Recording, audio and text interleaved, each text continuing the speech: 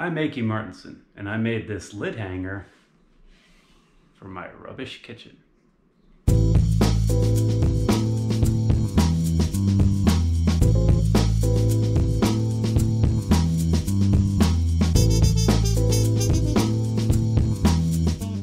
So many people have a pot and pan cabinet like this one. It's nothing but a pile. Let's push back the chaos and make some door-mounted hangers for the pot lids. I should mention that I didn't invent this idea. I've seen something like this on the internet before. My plan is to make four hanger bars, two for each of the cabinet doors. I don't really love red oak, but that's what the kitchen is made of, so that's what I bought.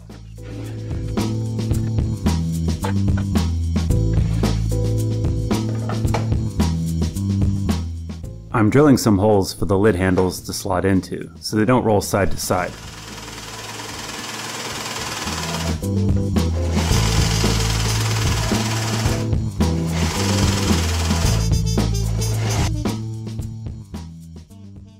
Pretty large Forstner bit like this 2 inch one here can be a problem. If you run it too fast, it'll stall out the drill press and it'll burn the wood. But those are the limitations of the glorious Harbor Freight drill press you have here, which I only own because it cost me zero dollars. But let's look this particular gift horse in the mouth, shall we? Yep, that's as slow as it will go.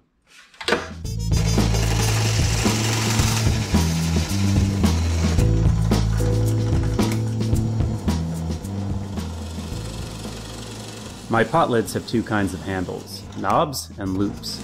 I don't want the hangers to be specific to a particular lid, so I can put the lids anywhere without thinking about it, and also so I can get other pans in the future.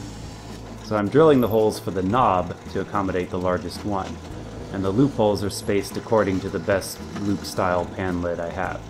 The other one will still work, but it might not rest in the holes in quite as satisfying a way.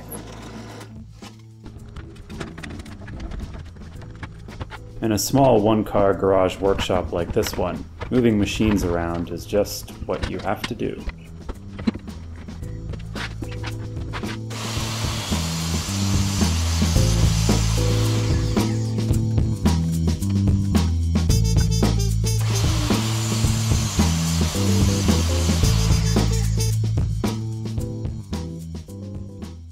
I really wanted the hanger bars to have fully filleted ends, concentric with the round dowel standoffs I'm about to make.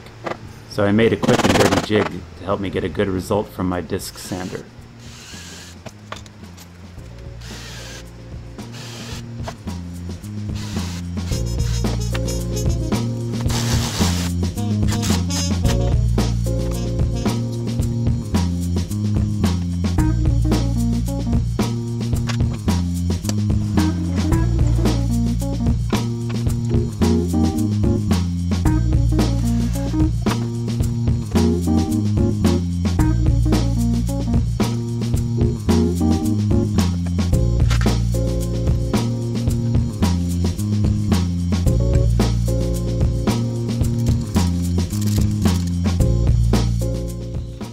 This is just a test piece, but it revealed an embarrassing error.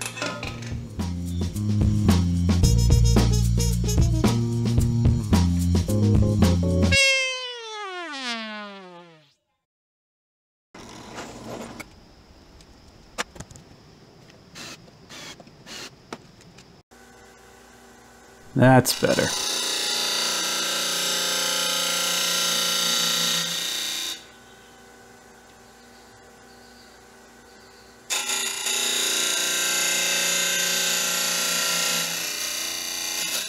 It's a promising start, although you do have to drill the hole exactly in the center of the workpiece. I think I'll make a better version of this tool eventually.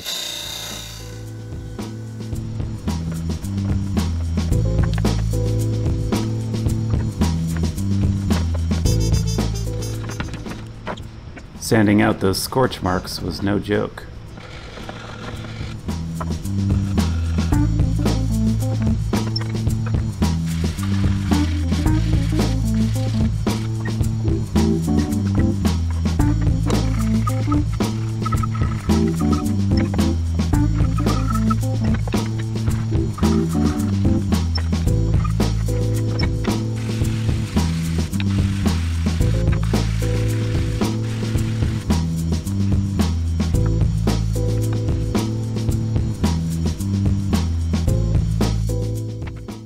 Off camera, I cut four lengths of this one inch oak dowel.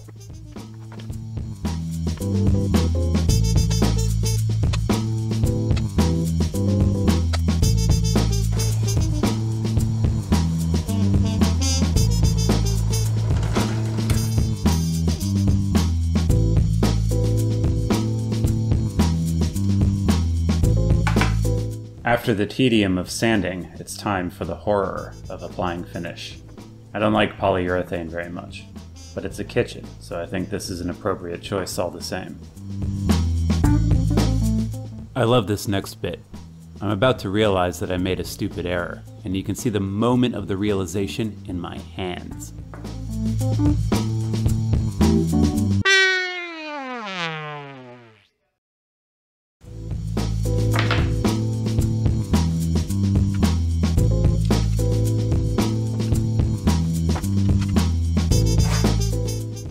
I'm using my hurricane shutters as a support here. Welcome to Florida.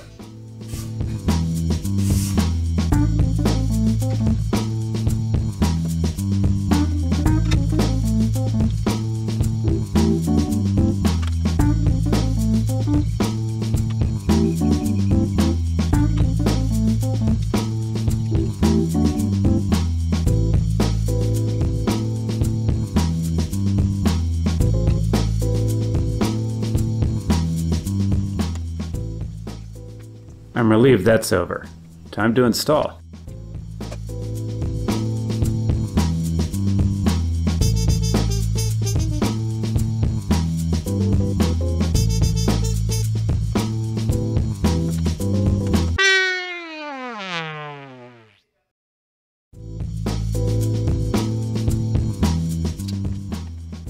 There's a design challenge here.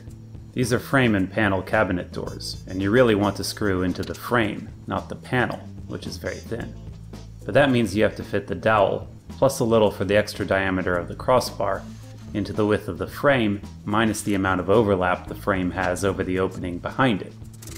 Also, you have to use some trigonometry, because the lid hanger also sticks out from the frame, so it's really the hypotenuse you have to worry about. Like this.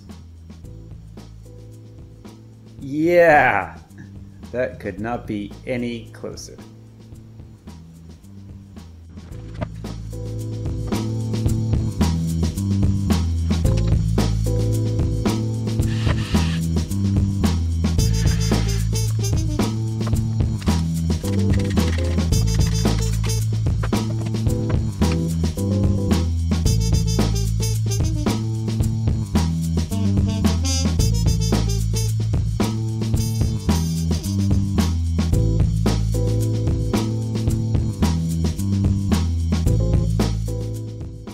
And that's a little bit of chaos pushed back.